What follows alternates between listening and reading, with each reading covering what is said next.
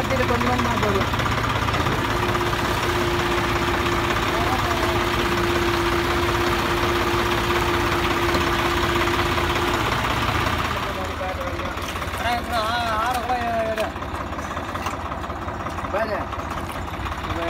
இருபது ஏக்கர் கூட நெல் பயிர் மேய்ச்சிருக்கு பார்த்தா.